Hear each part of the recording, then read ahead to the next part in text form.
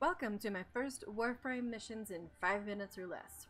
First up is Exterminate. The concept of Exterminate missions are exterminate, of course.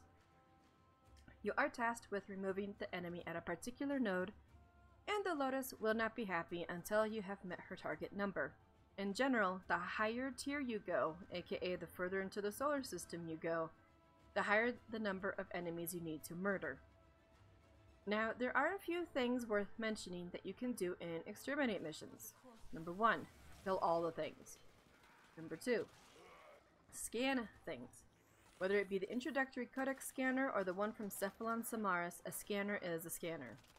Scanning things puts the entries into your codex, which is basically the wiki, only in-game.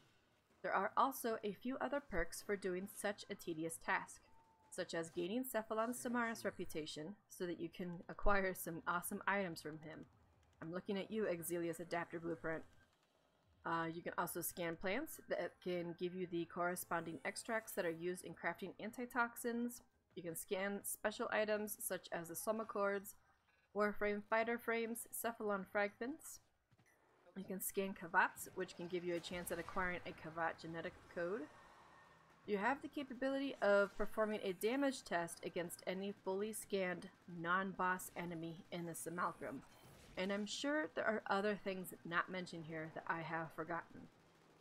Number 3. Resource Gathering. Needless to say, any planet and any node gives you this option, but I feel exterminate missions are some of the more easy nodes to accomplish this task. Enemies have a stopping point on the spawning capability, so you don't have to worry about more enemies showing up while you are scanning, Kubrow egg farming, case smashing, syndicate medallion searching, Ayatan sculpture finding, research, uh, resource cache seeking. I do, however, think that infested nodes don't have a stopping point, so consider yourself warned. Number 4. Stealth stuff. You want to practice your Mission Impossible tactics? Exterminate missions are probably the best place to get that out of your system.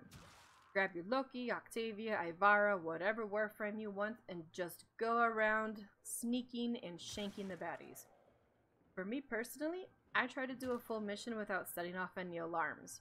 If you can do that, you are one badass mofo. This is it for my quick exterminate video. I hope I have shed some light on those who feel a bit left in the dark about what can be done in these types of nodes, besides killing a bunch of baddies. If I have left out anything, feel free to leave a comment below, and I look forward to sharing my next video with you. Until then, take care.